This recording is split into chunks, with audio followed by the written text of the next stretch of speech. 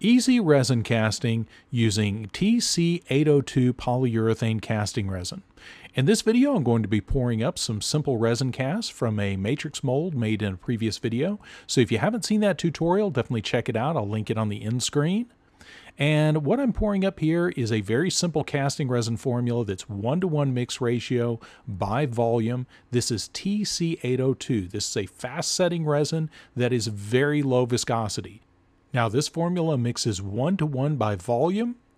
And remember, because this is a fast setting formula, you want to move fast, but because it is a very low viscosity, it's easy to get nice bubble-free parts without pressure casting.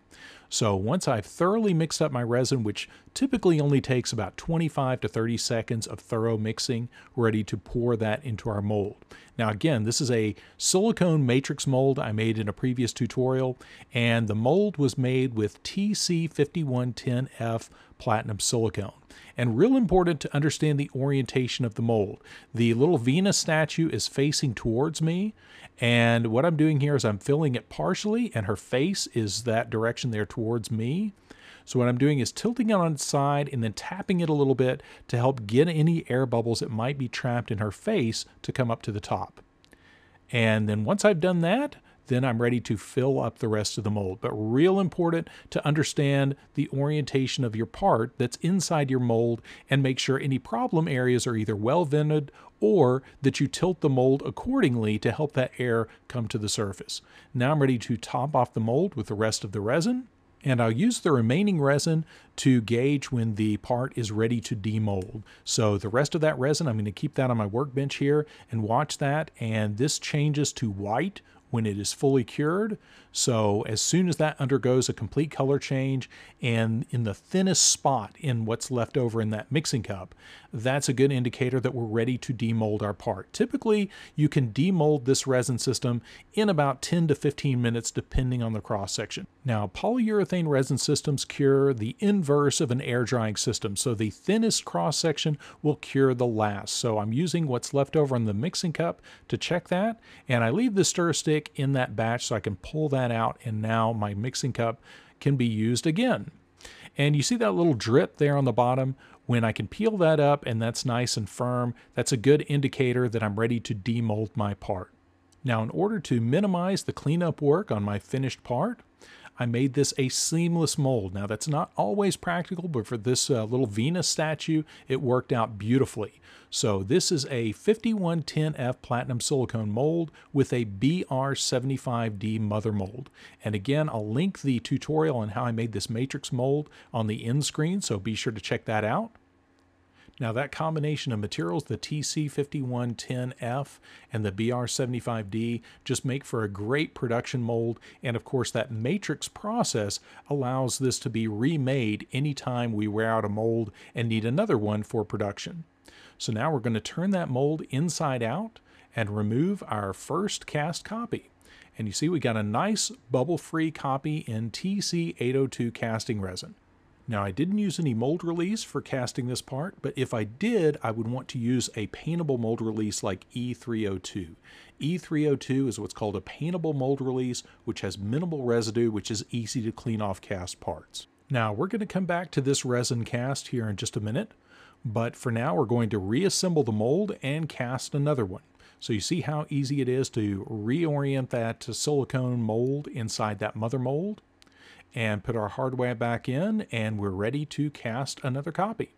Now this second copy I'm going to cast adding some green pigment.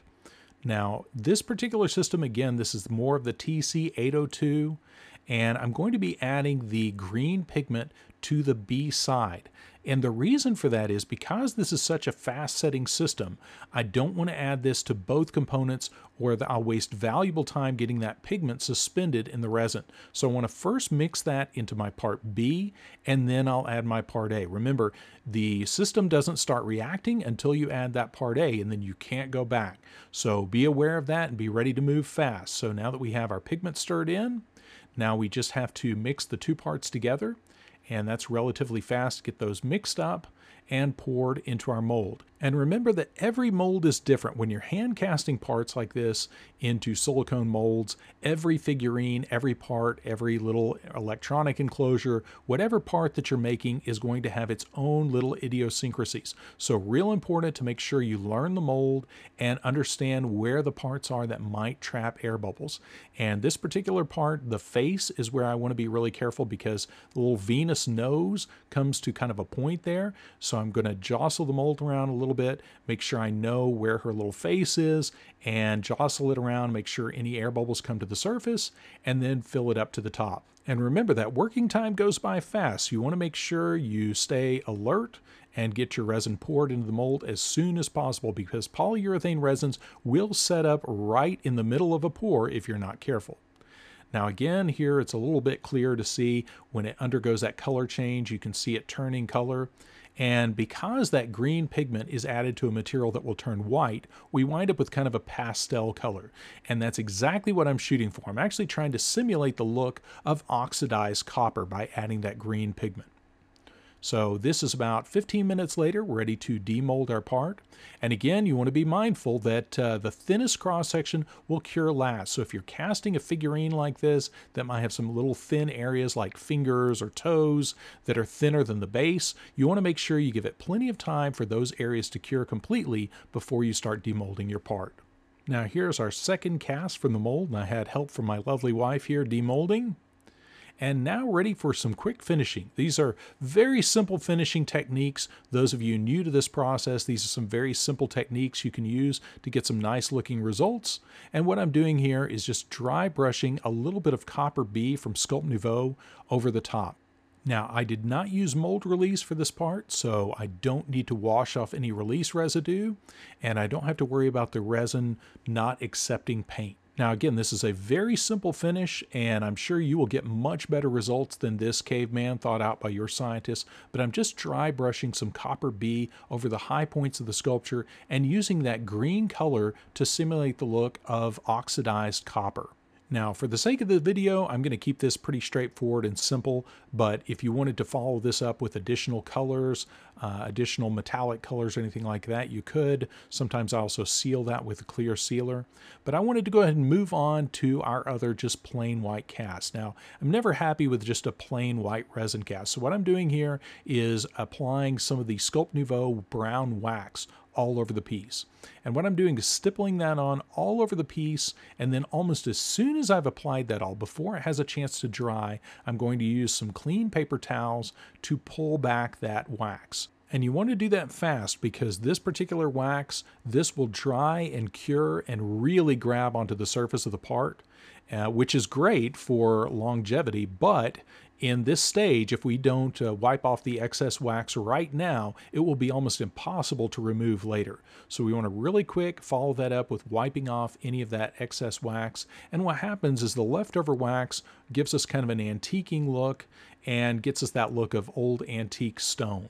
So we're just going to wipe away that excess wax and there we have our finished sculpture. And again, if we wanted to follow this up with some clear wax or any other uh, wax finishes over the top, we could do that at this point. But there you have a very simple finish on both a pigmented resin copy as well as just a plain TC802 resin cast.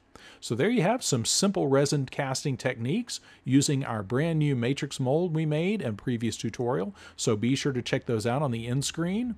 And as always, all of the materials I used in this video will be linked in the video description, so be sure to check those out. And if you haven't already, be sure to like the video, and if you're new to the channel, be sure to subscribe, and of course, check around the channel for other content related to mold making, casting, and finishing techniques. Thanks for watching, and thanks for supporting the channel.